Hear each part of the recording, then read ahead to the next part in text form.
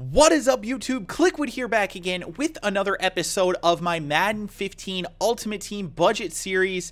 And today, guys, the position that we are going to be taking a look at is defensive end. So this is obviously the players on your defensive line who are primarily pass rushers, but we're also going to look at players who can do a good job against the run if you're new to this series, basically what we try to do here is find you guys some items that are going for fairly cheap that you don't have to spend as many coins on, but you can still get some nice productivity out of. And what we do is we take those items and we compare them against some other items who are maybe going for way too many coins. You know, a lot of the elites and uh, some of these items that just for some reason or another are really, really overpriced. And we compare the two of them and it's not always that the cheaper items are better than the, the more expensive items, but usually they're fairly comparable, and, and that's really what we're going for. So what you're going to see today is my opinion of who the best players are for a budget. Now, obviously, if you have more money than what I have here, uh, you can obviously go up from here and find some better items, and I'll try and give you kind of a direction at least to go off of when you're looking at some of the items and and hopefully you can find some good attributes and find some players that work well within your budget but the budget that we're going for today is 5000 coins per item so Every item that you see today on this episode will be going for under 5,000 coins or right around 5,000 coins anyway. And then we're going to compare those to the more expensive items. So let's get things started then, and we're going to start off taking a look at the run stuffing players. So obviously these are the guys who kind of have more attributes geared towards stopping the run. Now obviously Madden this year is not as geared toward the run as it was in Madden 25, but there is still definitely a running aspect to the game, so we do need to have players that can stop the run. And that's not to say that these players necessarily can't get after the passer, but they're probably a little bit slower and they're probably more uh, block taking up type of players. So higher strength and um, probably higher in the finesse move and, and that kind of thing versus being higher in speed and acceleration. But the first two items that you're going to see here on your screen, on the left hand side of the screen, Ropati Patuatua. And I apologize if I pronounced that incorrectly. Ryan always corrects me on that. And I can't, I for whatever reason, I can't remember how to freaking pronounce his name. So I'm just going to call him Ropati because I'm pretty sure I got that part of it right. Uh, and then the opposite side of the screen, Muhammad Wilkerson Elite. This is an 87 overall elite item. And obviously the Patuita or Ropati, as I'm going to call him, is a road to the playoffs item. So that's 83 overall versus Muhammad Wilkerson 87 overall. And the price difference between these is pretty significant. Patuatua is 5,000 coins coins versus Wilkerson at 40,000 coins. So let's take a look at these attributes. First of all, the major attributes that we look for, I have 10 of them that I look for at defensive end, and I've kind of broken it down into sections, I guess you could say, um, but, you know, it depends on the actual player that you're looking at to determine what the most important attribute is but I'll just run through them real quickly so that you guys are aware. Speed, acceleration, strength, block shed, power move, finesse move, tackling, hit power, awareness, and play recognition. So if you see a yellow attribute or, or an item with a, a, background that's a yellow in the attribute, that means it's the same as the other card. If it's green, it's better. If it's red, it's worse. So as you can see here, the Wilkerson is definitely better in most of the areas, uh, but they are the same in quite a few of them. Speed, strength, and play recognition, they are all the same. Now, I will tell you, I think strength is one of the most undervalued attributes in Madden 15 Ultimate Team. It definitely was in Madden 25 as well. So that's one of the ones that I really look for. Acceleration, I believe, is a little bit more for the pass rushers, but I do still think it's something that you want to keep in mind. So you are going to notice that Ropati is a little bit faster than Wilkerson, and uh, that kind of can play a factor in run support as well, but it definitely plays a factor if he is in a situation where he does need to pass rush. So, uh, of course, keep that in mind. The major attributes that I look for strength, obviously, I mentioned that, block shedding, and power move or finesse move. Those are the three attributes. Now, I noticed I said power move or finesse move because it can either it can be either of them. Frankly, um, as far as I understand it, the power move or the finesse move is basically uh, when a player is engaged in a block and you either you know if you're controlling them you either press square or x and and it gives you the either the finesse move or the power move depending on which one you press but it's kind of almost an animation. So it, it basically, those attributes kind of determine how effective those animations are. And they go up against the opposing offensive lineman's pass block, run block, and strength. All three of those things kind of come into play depending on, you know, what the type of play is that you're running uh, in that situation. So the higher they are in one of those attributes, the more likely they are to be able to make a play for you. And of course, having higher awareness and play recognition and all that kind of stuff will, you know, play a, somewhat of a factor, but we really want to focus on strength, block shed, and power move or finesse move. So as you guys can see here, strength the same, power move and finesse move. Uh, obviously, Wilkerson is a little bit higher in both of those. He's five higher in power move, but Ropati still has an 88 for the power move. That's very, very impressive for an item that's 83 overall and it's going for 5,000 coins. And then his block shed is 93. That is a, an awesome attribute for a guy that's going for this type of a price. And then you compare that to Muhammad Wilkerson at a 97, which is one of the best in the game. So Wilkerson, definitely one of the better defensive ends. I'm not going to try and tell you that he isn't isn't better. Uh, for run support, he is an excellent item. Uh, he is great in tackling as well at a 96, although I will say that Ropati is not going to really lose any tackles. He's going to tackle almost everybody with that 92 tackling. So all in all, what, what the point is here that I'm making with this comparison is that you can get an item that is very, very similar. It's it's a very similar style item to Wilkerson for one eighth of the price right now. And that's what I would do if you're building a budget squad. Ropati is definitely going to be the type of item that you can use on your squad to kind of build up toward a Wilkerson if you want to do that at some point. But uh, for the time being, I think that you would be very, very happy if you went with a Ropati for 5,000 coins because you're just not going to find any better left defensive ends for run support than him.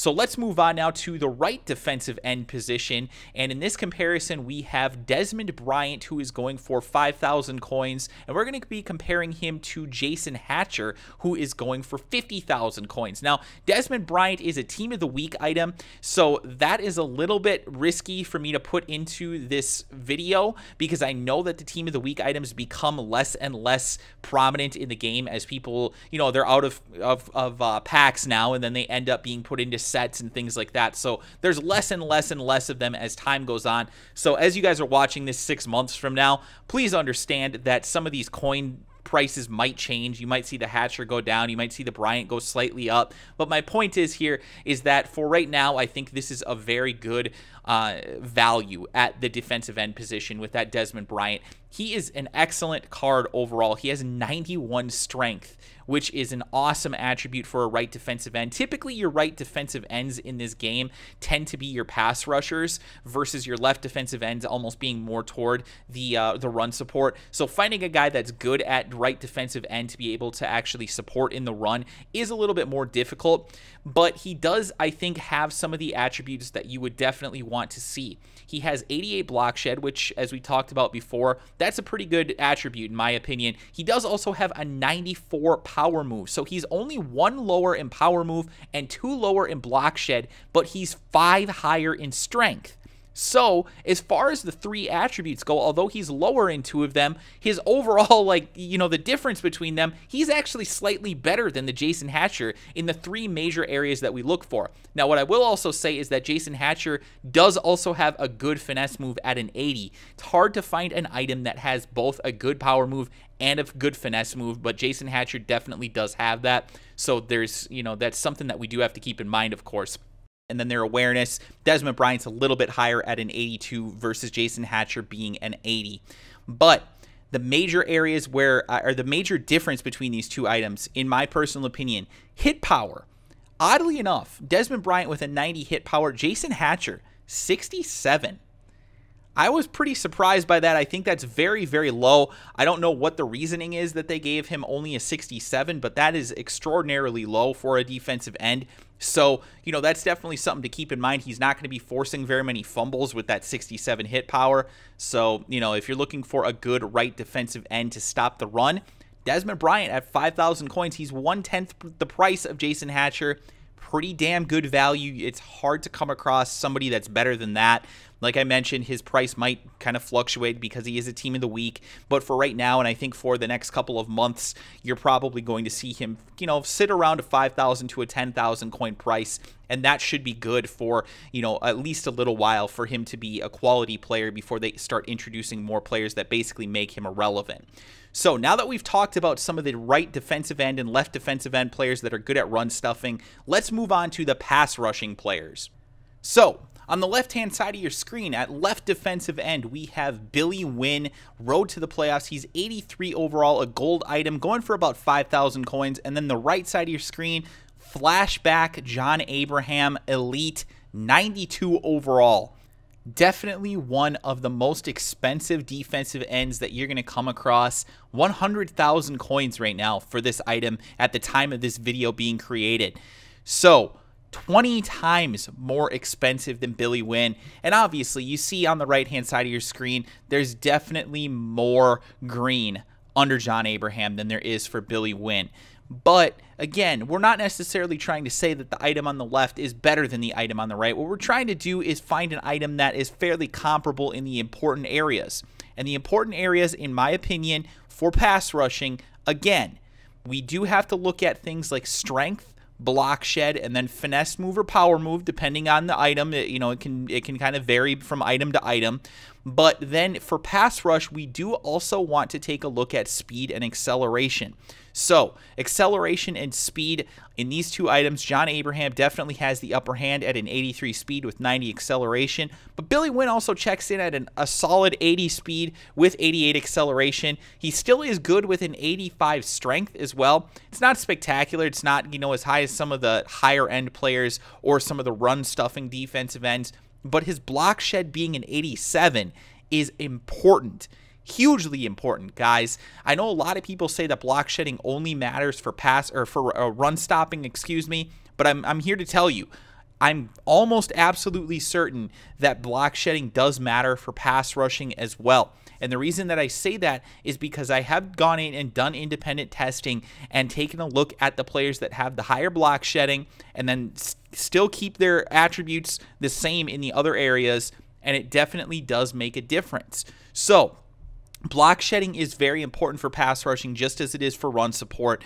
Don't get the two things confused, um, you know, as being different. They're they're still very much uh, a portion of what it takes to get to the quarterback. So again, I, I like those two things. I also do like the fact that Billy Winn has a 92 finesse move. That is incredible for a player like this who most people don't even know who it is. 92 finesse move is a nice, nice attribute. You compare that with a lot of other items, and you're not going to find very many better cards for 5,000 coins.